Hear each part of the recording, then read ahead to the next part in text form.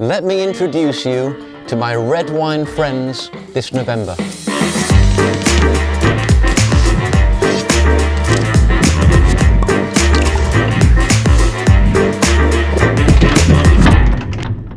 This November, I've picked three excellent red wines, and we go through a lot of tasting to get these wines chosen.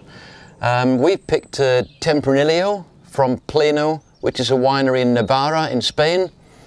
We have a fantastic Pinot Noir from Marlborough in New Zealand, and we have a Chianti from Tuscany. So basically, we start off with the Tempranillo. This is the lightest of the three. Tempranillo is an early ripening grape. Temprano means early in Spanish. And Navarra is a northern uh, Spanish region. And Tempranillo grows very well there. It often has um, cherry, stone fruit, plum characters, and the body of Tempranillo means that the neutral characters of Tempranillo means that it goes very well with oak. So they always put this into uh, American oak and it picks up spice characters, little bit of vanilla. Lovely colour, bright red, excellent wine. Then we have the Pinot Noir from Marlborough. This is a very special winery. It's owned by two brothers, uh, Ben and Luke Cowley. Ben is the viticulturist, so he's working in the vineyard. Uh, Luke is the winemaker. They kind of argue together as to whether the grapes are best grown and make the wine great or whether it's the work in the winemaking facility. But in fact, they're both great guys. They win a lot of awards.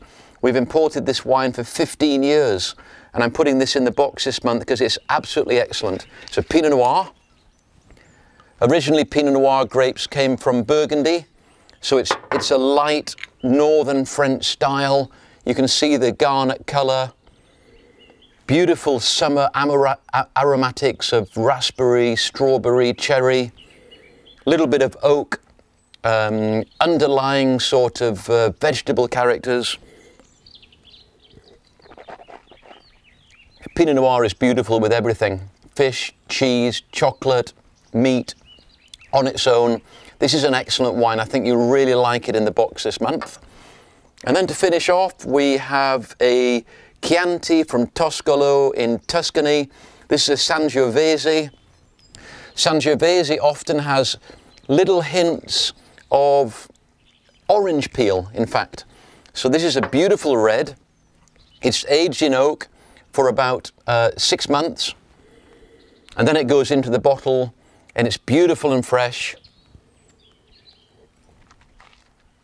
Deep colour and excellent spice. And that's why we've uh, put this wine third because it's the most characterful.